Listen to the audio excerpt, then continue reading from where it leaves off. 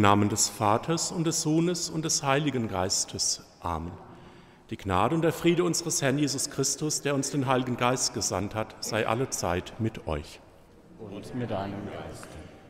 An diesem Pfingstmontag begrüße ich Sie alle ganz herzlich, liebe Mitchristen hier in der Kirche und auch Sie alle, die Sie zu Hause über unseren Internetkanal diesen Gottesdienst mitfeiern. Wir haben im deutschsprachigen Raum den Pfingstmontag als einen Tag, der uns noch einmal deutlich macht, dass Pfingsten zu den ganz großen Festen gehört. Mit dem zweiten Feiertag ähnlich wie an Weihnachten und an Ostern. Es muss also schon etwas Besonderes sein mit Pfingsten. Wir sagen immer auch, es ist das Fest des Heiligen Geistes. Heute denken wir am Pfingstmontag besonders auch an die Gemeinschaft der Kirche. Denn die Kirche ist erfüllt vom Heiligen Geist. Auch wir sind im Heiligen Geist versammelt, als Gemeinschaft von Glaubenden, die zu Christus gehören. Rufen wir Christus, den Herrn, in unserer Mitte an und bitten wir ihn, dass er unsere Herzen für diese Feier bereitet.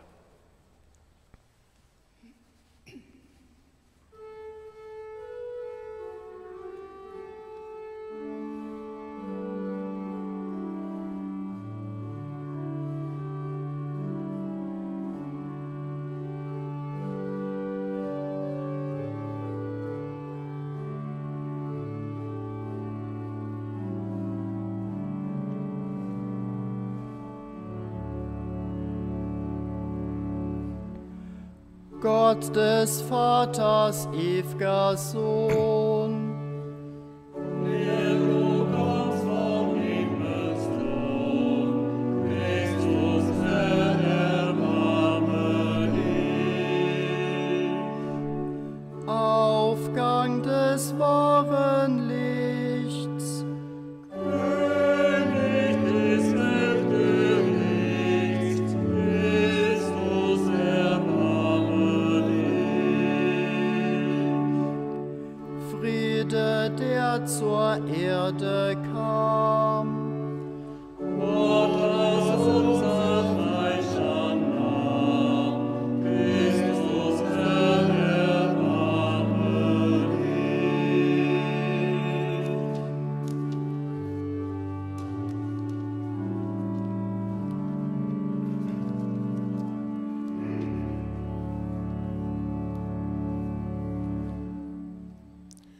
Allmächtige Gott erbarme sich uns, er nehme von uns Sünde und Schuld, damit wir mit reinem Herzen diese Feier begehen. Amen. Amen.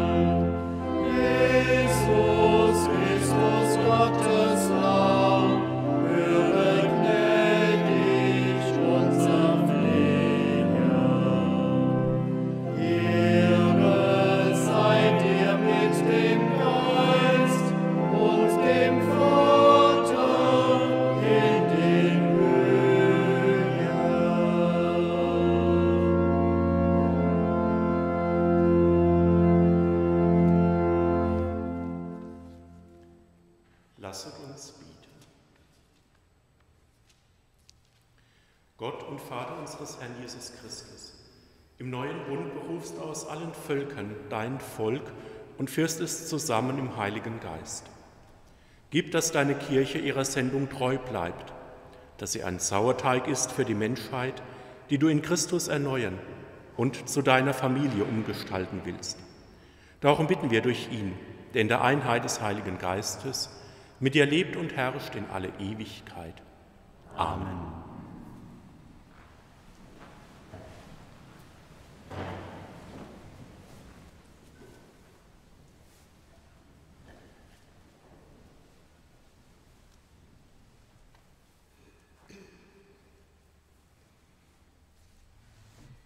Lesung aus der Apostelgeschichte.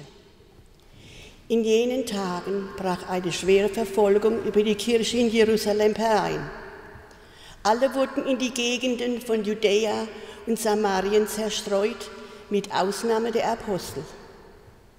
Die Gläubigen, die zerstreut worden waren, zogen umher und verkündeten das Wort. Als die Apostel in Jerusalem hörten, dass Samarien das Wort Gottes angenommen hatte, schickten die Apostel Petrus und Johannes dorthin. Diese zogen hinab und beteten für sie, dass sie den Heiligen Geist empfingen. Denn er war noch nicht auf einen von ihnen herabgekommen. Sie waren nur getauft auf den Namen Jesu des Herrn. Dann legten sie ihnen die Hände auf und sie empfingen den Heiligen Geist. Wort des lebendigen Gottes. Dank sei Gott.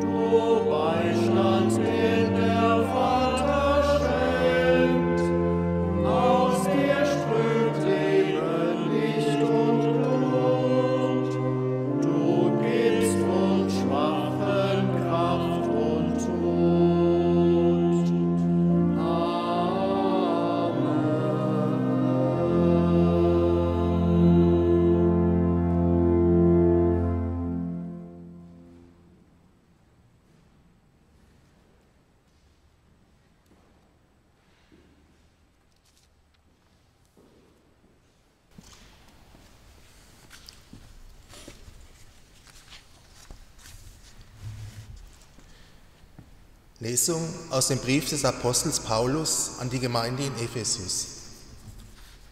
Gepriesen sei Gott, der Gott und Vater unseres Herrn Jesus Christus. In ihm hat er uns erwählt vor der Grundlegung der Welt. In ihm habt auch ihr das Wort der Wahrheit gehört, das Evangelium von eurer Rettung. In ihm habt ihr das Siegel des verheißenen Heiligen Geistes empfangen, als ihr zum Glauben kamt. Der Geist ist der erste Anteil unseres Erbes hin zur Erlösung, durch die ihr Gottes Eigentum werdet, zum Lob seiner Herrlichkeit. Darum höre ich nicht auf, für euch zu danken, wenn ich in meinen Gebeten an euch denke. Denn ich habe von eurem Glauben an Jesus, den Herrn, und von eurer Liebe zu allen Heiligen gehört. Der Gott Jesu Christi, unseres Herrn, der Vater der Herrlichkeit, gebe euch den Geist der Weisheit und Offenbarung, damit ihr ihn erkennt. Er erleuchte die Augen eures Herzens, damit ihr versteht, zu welcher Hoffnung ihr durch ihn berufen seid, welchen Reichtum die Herrlichkeit seines Erbes den Heiligen schenkt und wie übergroß seine Macht sich an uns, den Gläubigen, erweist. Wort des lebendigen Gottes. Dank sei Gott.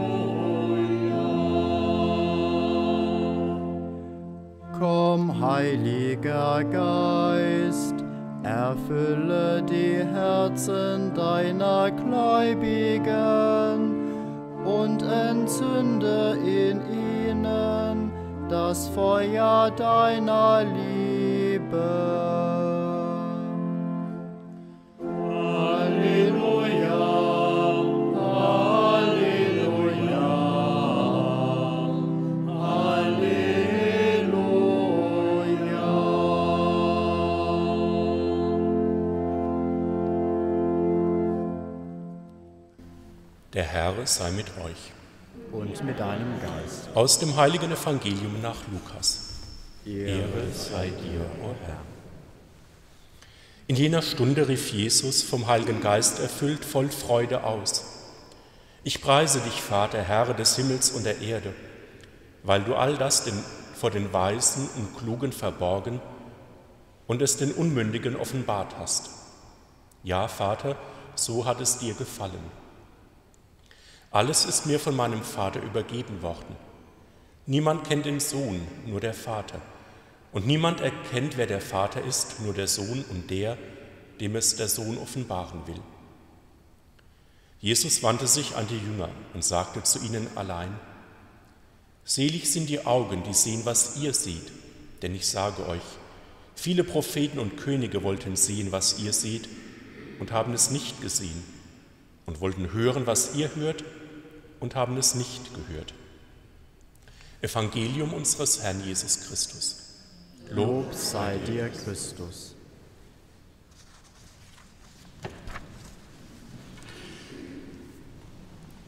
Liebe Mitchristen, ich möchte mit Ihnen ein bisschen über die zweite Lesung nachdenken, die wir heute gehört haben.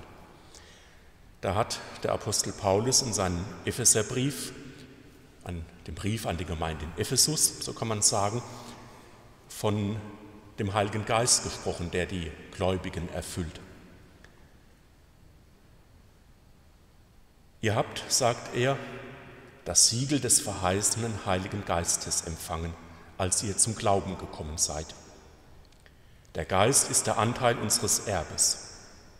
Und er nennt diejenigen, die vom Heiligen Geist erfüllt sind, die Getauften, die gefirmt sind, das sind die, die zur Gemeinde gehören, die zu Christus gehören. Er nennt sie Heilige. Darum höre ich nicht auf, schreibt er, für euch zu danken, wenn ich in meinen Gebeten an euch denke, denn ich habe von eurem Glauben an Jesus Christus und von eurer Liebe zu allen Heiligen gehört. Die Heiligen, das sind die Mitchristen, die mit vom Heiligen Geist erfüllt zur Gemeinde gehören. Die Heiligen also.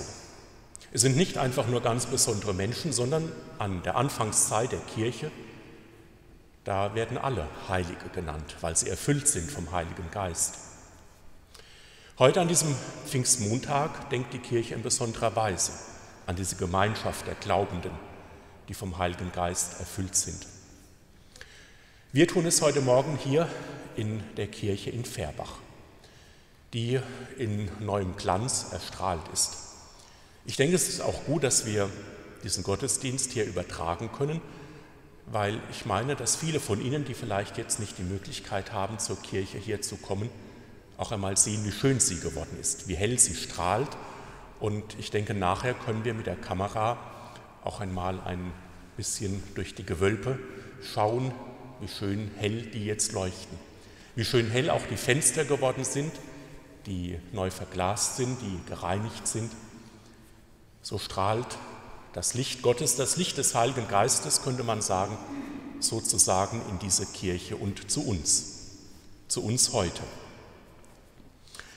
Und ich möchte ein bisschen auf die Heiligen schauen, die hier in der Kirche sind. Sie alle sind Menschen, die zu unterschiedlichen Zeiten vom Heiligen Geist erfüllt waren und die Kirche gebildet haben.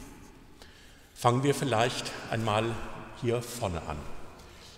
Da ist die heilige Katharina. Man erkennt sie am Rad an der Märtyrerpalme. Der Überlieferung der Legende nach soll sie eine Philosophin gewesen sein, eine Jungfrau, die es mit den heidnischen Philosophen aufgenommen hat und die den christlichen Glauben erklärt hat. Deswegen wurde sie gemartert und der Überlieferung nach auf ein Rad gebunden. Deswegen wird sie immer mit einem Rad dargestellt.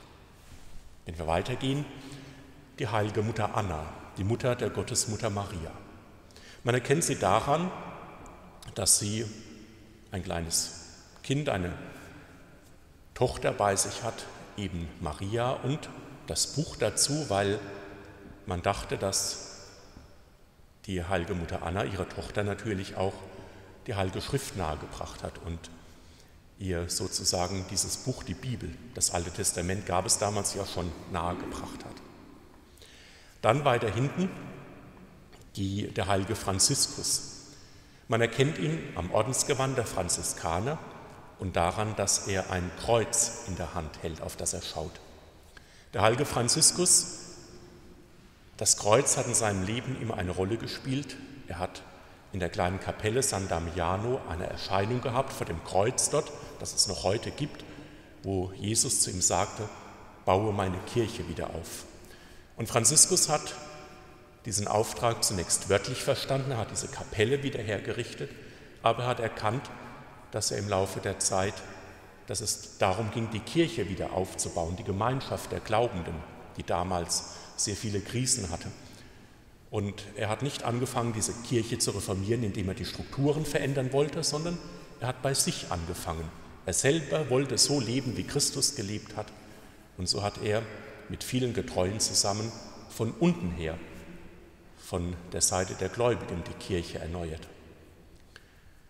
Der heilige Franziskus also. Und am Ende seines Lebens ist ihm der Gekreuzigte wieder erschienen. Er hat die Wundmale bekommen und hat so auch noch einmal im Leiden die Gemeinschaft mit Christus erfahren.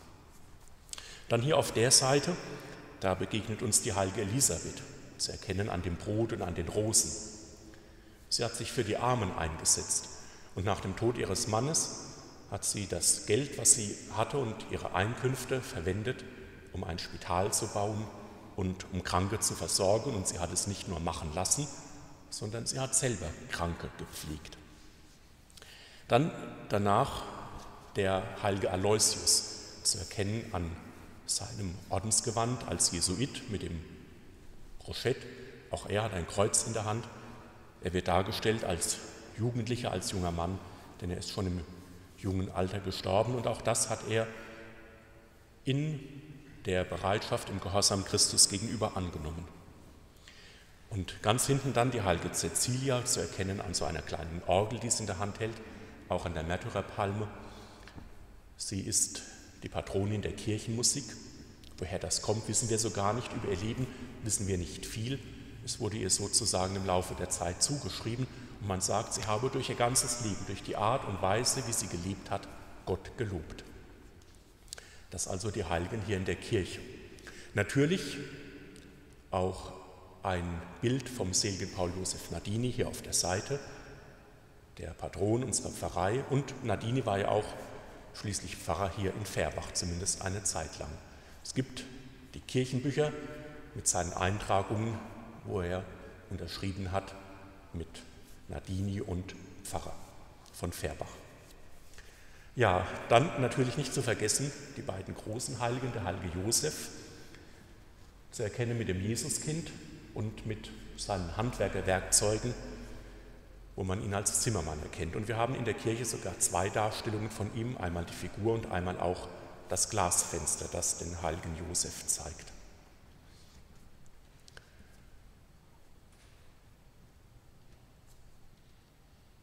Und der heilige Josef gilt auch als der Patron der Kirche. Und die Lilie trägt er deswegen, weil er auch diese Ehe mit Maria geführt hat, ohne sie zu berühren.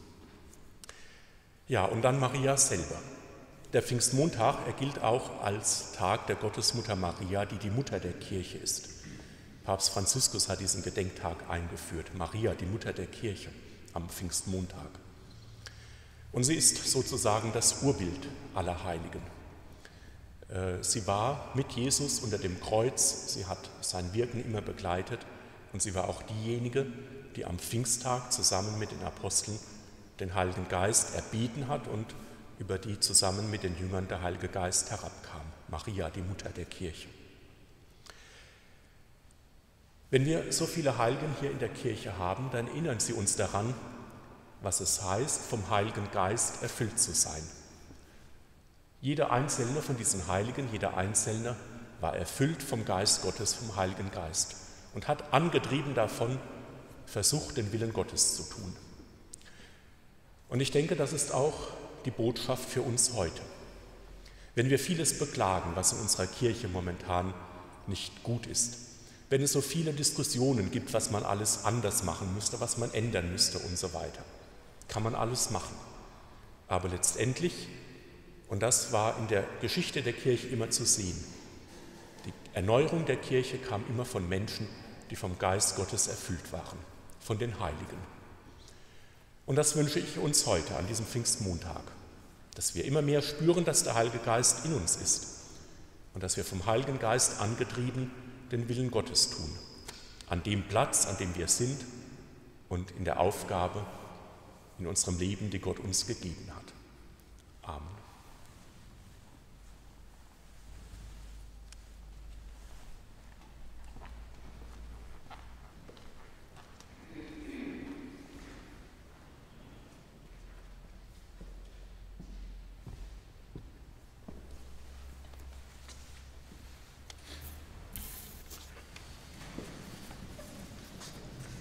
Gott, um die Welt zu erneuern, hast, hat Gott den Heiligen Geist gesandt. Beten wir um den Geist, den wir angesichts der heutigen Probleme brauchen. Um den Geist des Friedens wollen wir beten für die Völker, die in Krieg leben und für die Mächtigen der Erde, die zu einem guten Zusammenleben beitragen können. Komm, Heiliger Geist. Komm, Heiliger Geist. Um Weisheit und das rechte Wort beten wir für jene, denen Gottes Wort zur Verkündigung anvertraut ist in Gemeinde, Schule und im bischöflichen und priesterlichen Dienst. Komm, Heiliger Geist. Komm, Heiliger Geist. Um Lebensfreude, Zuversicht, Kraft und Geduld beten wir für jene, die ihr Leben als Dienst an anderen verstehen, in der Familie, in Krankenhäusern und Pflegeheimen, in Beratungsstellen und in der Sozialarbeit. Komm, Heiliger Geist. Komm, Heiliger Geist. Um Trost beten wir für die Verzweifelten, um Gemeinschaft für die Einsamen, um Linderung ihrer Schmerzen für die Leidenden, um Hoffnung für die Verzagten. Komm, Heiliger Geist. Komm, Heiliger Geist. Gott, mit den Gaben deines Geistes erfüllst du die Erde. Dafür sei dir Dank und Lobpreis, heute und immer da, bis in Ewigkeit. Amen.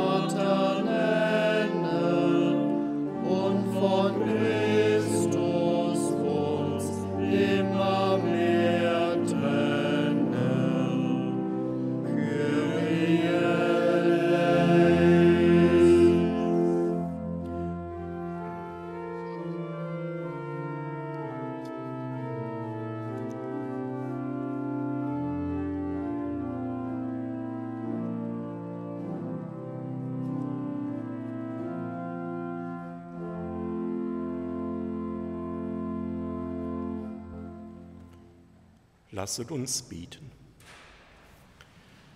Gott unser Vater, nimm unsere Gaben an, in denen das Opfer deines Sohnes gegenwärtig wird. Aus seiner Seitenwunde ist die Kirche hervorgegangen als Werk des Heiligen Geistes. Lass sie ihren Ursprung nie vergessen, sondern daraus in dieser Feier Heil und Leben schöpfen. Darum bitten wir durch Christus, unseren Herrn. Amen. Amen. Der Herr sei mit euch. Und mit deinem Geist. Erhebet die Herzen. Wir haben sie beim Herrn. Lasset uns danken dem Herrn, unserem Gott. Das ist würdig und recht. In Wahrheit ist es würdig und recht, dir allmächtiger Vater zu danken und dein Erbarmen zu rühmen. Die Sünde hatte die Menschen von dir getrennt, du aber hast sie zu dir zurückgeführt durch das Blut deines Sohnes und die Kraft deines Geistes. Wie du eins bist mit dem Sohn und dem Heiligen Geist, so ist die Kirche geeint nach dem Bild des dreieinigen Gottes. Sie ist ein heiliges Volk, der Leib Christi und der Tempel des Heiligen Geistes zum Lob deiner Weisheit und Liebe. Darum preisen wir dich in deiner Kirche und vereinen uns mit den Engeln und Heiligen zum Hochgesang von deiner göttlichen Herrlichkeit.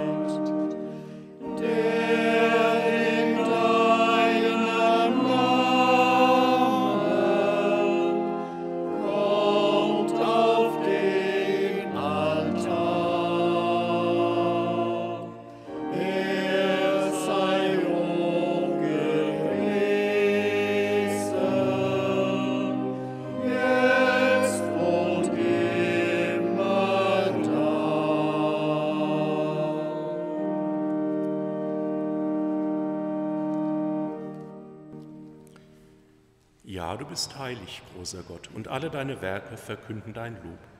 Denn durch deinen Sohn, unseren Herrn Jesus Christus, und in der Kraft des Heiligen Geistes erfüllst du die ganze Schöpfung mit Leben und Gnade. Bis ans Ende der Zeiten versammelst du dir ein Volk, damit deinem Namen das reine Opfer dargebracht werde, vom Aufgang der Sonne bis zum Untergang. Darum kommen wir vor dein Angesicht und feiern in Gemeinschaft mit der ganzen Kirche das hohe Pfingstfest, an dem der Heilige Geist in Feuerzungen auf die Jünger herabkam. Und wir bitten dich, allmächtiger Gott, heilige unsere Gaben durch deinen Geist, damit sie uns werden Leib und Blut deines Sohnes, unseres Herrn Jesus Christus, der uns aufgetragen hat, dieses Geheimnis zu feiern. Denn in der Nacht, der er verraten wurde, nahm er das Brot und sagte Dank, brach es, reichte es seinen Jüngern und sprach, Nehmet und esset alle davon, das ist mein Leib, der für euch hingegeben wird.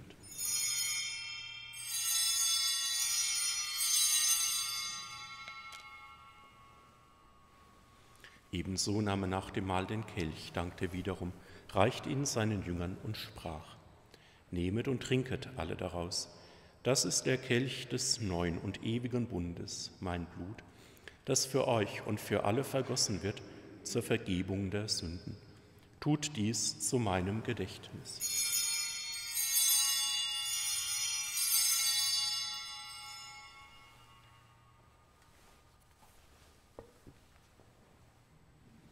Geheimnis des Glaubens. deinen Tod, o Herr, verkünden wir. Und deine Auferstehung preisen wir, bis du kommst in Herrlichkeit. Darum, gütiger Vater, feiern wir das Gedächtnis deines Sohnes. Wir verkünden sein heilbringendes Leiden, seine glorreiche Auferstehung und Himmelfahrt und erwarten seine Wiederkunft. So bringen wir dir mit Lob und Dank dieses heilige und lebendige Opfer dar. Schau gütig auf die Gabe deiner Kirche, denn sie stellt dir das Lamm vor Augen, das geopfert wurde und uns nach deinem Willen mit dir versöhnt hat. Stärke uns durch den Leib und das Blut deines Sohnes und erfülle uns mit seinem Heiligen Geist, damit wir ein Leib und ein Geist werden in Christus. Er mache uns auf immer zu einer Gabe, die dir wohlgefällt, damit wir das verheißene Erbe erlangen, mit deinen Auserwählten, mit der seligen Jungfrau und Gottes Mutter Maria, mit ihrem Bräutigam, dem heiligen Josef, mit deinen Aposteln und Märtyrern, mit dem seligen Paul Josef Nadini und mit allen Heiligen, auf deren Fürsprache wir vertrauen. Barmherziger Gott, wir bitten dich, dieses Opfer unserer Versöhnung bringe der ganzen Welt Frieden und Heil. Beschütze deine Kirche auf ihrem Weg durch die Zeit und stärke sie im Glauben und in der Liebe. Deinen Diener, unseren Papst Franziskus, unseren Bischof Karl Heinz und die Gemeinschaft der Bischöfe, unsere Priester und Diakone, alle, die zum Dienst in der Kirche bestellt sind und das ganze Volk deiner Erlösten.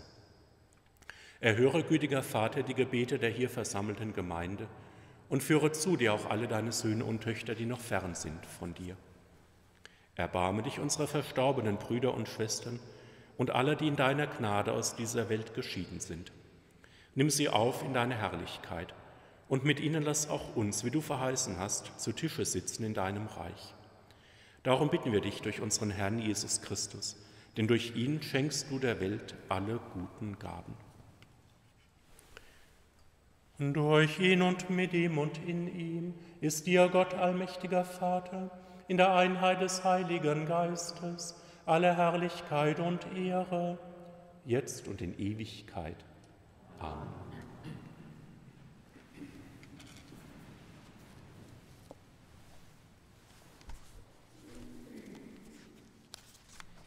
In der Taufe haben wir den Geist empfangen, der uns zu Kindern Gottes macht.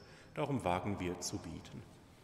Vater, unser im Himmel, geheiligt werde dein Name, dein Reich komme, dein Wille geschehe, wie im Himmel, so auf Erden.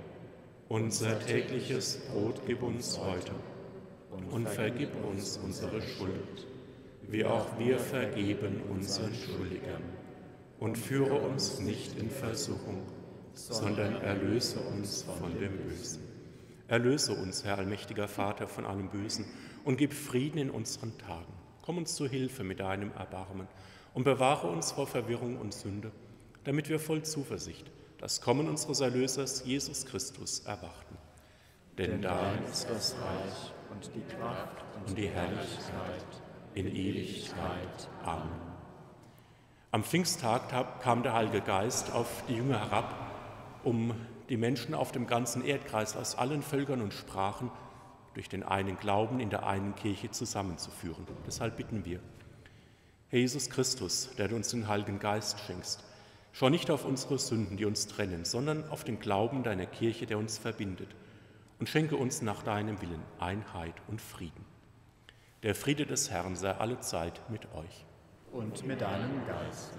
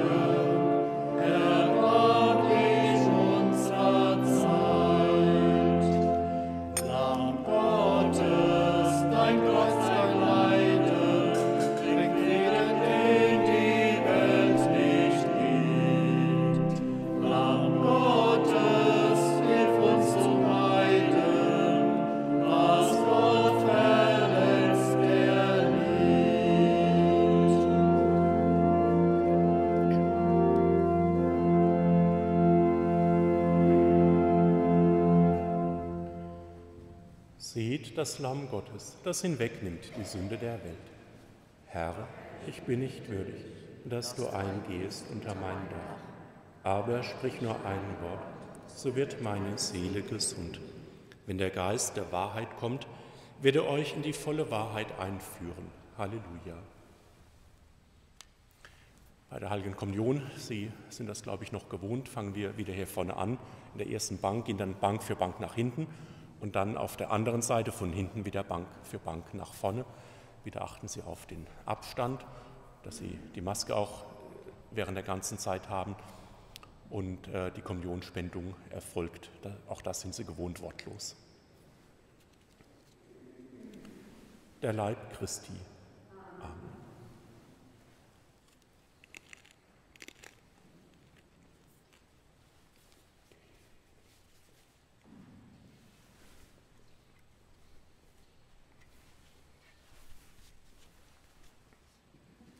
Das Blut Christi.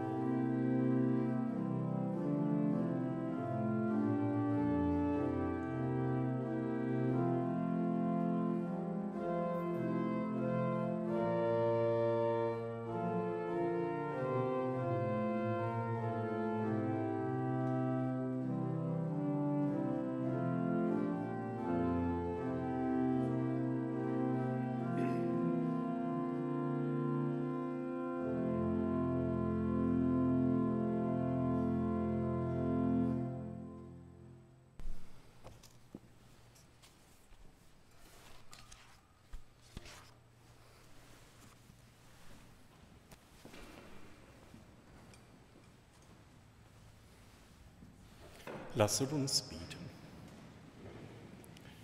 Herr, du hast uns gestärkt durch das Sakrament deines Sohnes. Mache das Werk deiner Kirche fruchtbar und enthülle durch sie den Armen das Geheimnis unserer Erlösung. Denn die Armen hast du vor allem dazu berufen, Anteil zu haben an deinem Reich. Darum bitten wir durch Christus, unseren Herrn. Amen. Ich möchte allen danken, die es ermöglicht haben, dass wir heute diesen Gottesdienst hier feiern und auch übertragen konnten.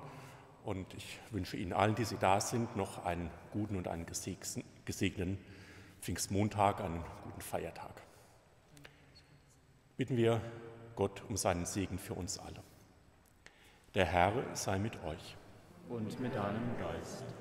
Der gütige Gott hat die Jünger durch die Eingießung des Heiligen Geistes erleuchtet.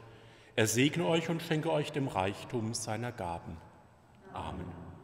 Jenes Feuer, das in vielen Zungen auf die Jünger herabkam, reinige eure Herzen und entzünde in euch die göttliche Liebe. Amen. Der Heilige Geist, der die vielen Sprachen im Bekenntnis des Glaubens geeint hat, festige euch in der Wahrheit und führe euch vom Glauben zum Schauen. Amen. Das gewähre euch der dreieinige Gott, der Vater und der Sohn und der Heilige Geist. Amen. Geht hin in Frieden. Dank sei Gott dem Herrn.